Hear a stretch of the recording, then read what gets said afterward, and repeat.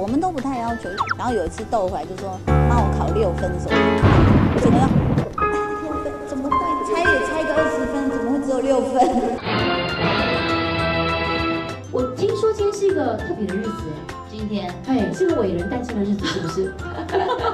不敢不敢不敢，是您的二十六岁生日。对，各位，桃子姐今天二十六岁啦。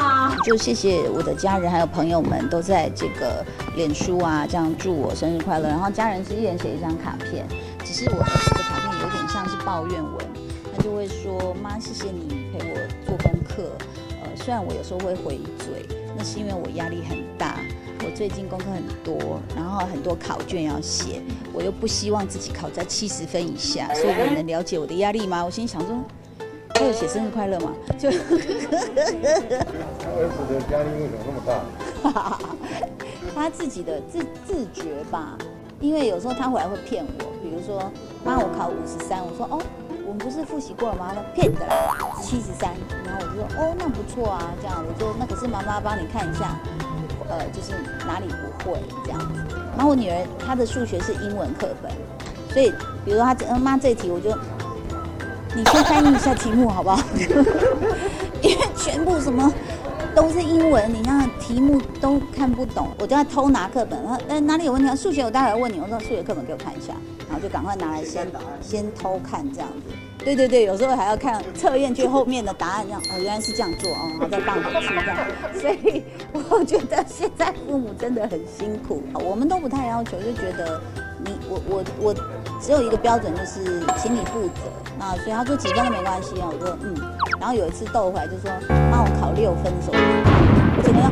然后我老公你知道杯子差点都要摔下去，我们俩就静默了两秒，想怎么办？六分，六分怎么会？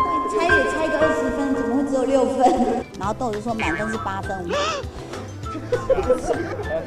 他们就是会数学，对啊，差一点，所以平常要练一下身体，不然心脏会衰弱。太恐怖了。哎呀，就一直很担心啊，因为状况就听起来不是太好嘛。然后，但是就他家人真的很辛苦啦。那我是比较常联络的是小齐这边的，他的老婆小孩一直都还是很关心他啦，一定都是很关心，因为毕竟是爸爸，对啊，不会不关心嘛。所以你有觉得听到他姐姐又在哪里？嗯，我觉得家人难免会有一些一些。误会吧，对啊，角度的不同嘛，我觉得那个那个心里面那个感情一定都还是在的啦。Hello，大家好，我是 Andre，